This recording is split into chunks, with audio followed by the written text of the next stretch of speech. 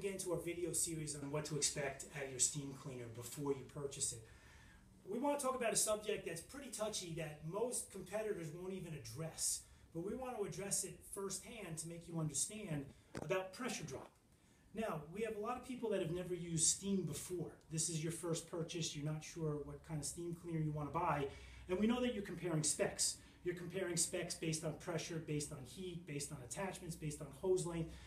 We understand that. We understand there's a million steam cleaners out there.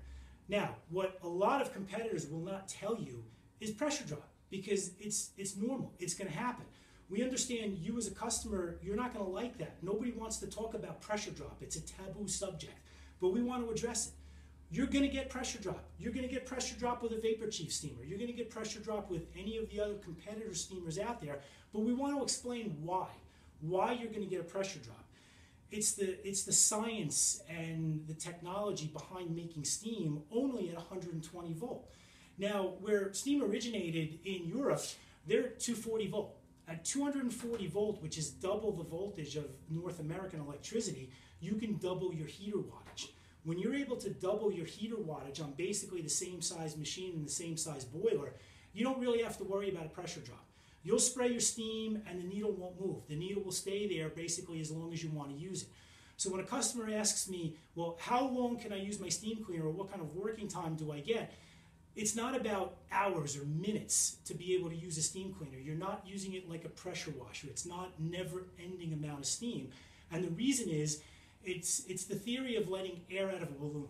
Think of how long it takes you to blow up a balloon to the full volume of the balloon. It takes a while. You can let air out of a balloon almost instantly. And then to blow that balloon up, which would be recovery of your steam pressure, it takes a little bit of effort to blow your balloon back up. Now, steam is going to be a little bit quicker than that. Obviously, you need your machine to heat up. For a Vapor Chief Refill 100 needs about 9 or 10 minutes to heat up to 100 psi. As soon as you start to use it, you're going to get a pressure drop. People ask why. Why am I seeing a pressure drop? Why should I get a pressure drop? Well, the reason why you're getting a pressure drop is because at 120 volts and on a, on a 15 amp circuit, you can only have a maximum of 1800 watts. We use a 1750 watt heater on all of our Vapor Chief units. So at 1750 watts, we can't make steam as fast as you might want to use it. So if you expect to hold your, your trigger, if you want to hold your steam trigger down for a certain period of time, and expect not to get a pressure drop, well, that's not going to happen. You're going to get a pressure drop. Now, once you let go of your steam trigger, you're going to get a recovery.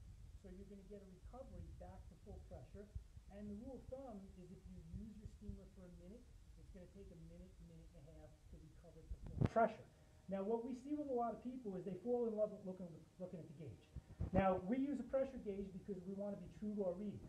We're not using a digital display where we could program the digital display to we want and tell you any. A digital display is not a true indication of pressure. We want to use a pressure gauge. Helps us diagnose whether the machine is heating or not. And it also tells you that we're advertising our machine at 100 psi, you're getting 100 psi. But the downside of that is that when you blow steam, the pressure gauge is going to drop.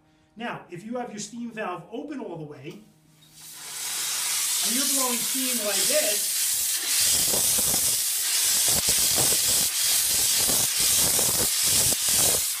you're going to get the pressure gauge to drop a little bit faster. Now, the difference between we, we feel in our machines and a lot of the competitors' machines is because we're using an external heater, we're using a heater that sits right at the bottom of the boiler and radiates the heat through the walls of the boiler, and we're trying to max it out at 1750 watts. And it's also the design of our boiler, the size of our boiler, the nozzle tip that we're using. There's a lot of engineering that goes into this.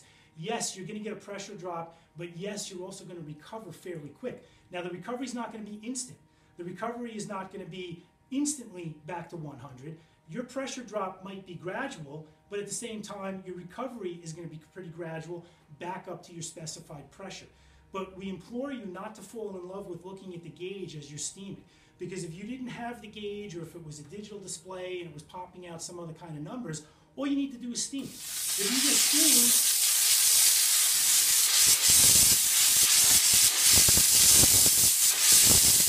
if you clean, if you clean what you need to clean and don't fall in love with looking at the gauge, you're going to have a pressure drop, but your working pressure is still going to be high enough on any of our machines where it's not really going to slow you down too much. Now, we've used and sold machines over the years where obviously the pressure wasn't starting quite as high. Our single refill machine at 75 psi, that's a really good starting point for a single boiler machine. Our refill 100 machine, we really don't want to increase the pressure too much more than 100. We feel 100 is more than enough. And our injection machine at 125, we feel is more than enough. So you're starting at a higher pressure. Sure, you're going to get a pressure drop, but your working pressure is still going to be sufficient to do what you need to do, and then the machine is going to recover. So no, we're going to tell you no, you cannot blow steam for five minutes straight and expect the steam pressure to hold at a real steady rate. It's going to drop, but it's not going to drop to nothing. It's still going to be able to work.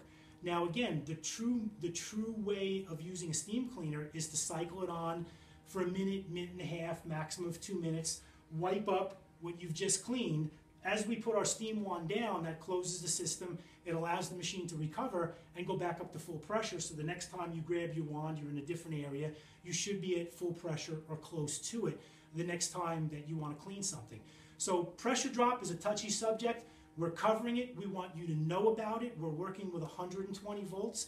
In North America, that's what we're limited to, but we think we've engineered one of the best 120 volt steamers out there. We're starting at a really high pressure. If your requirement is that you need to be able to blow steam for five or 10 minutes straight, then any 120 volt steamer is not going to be for you.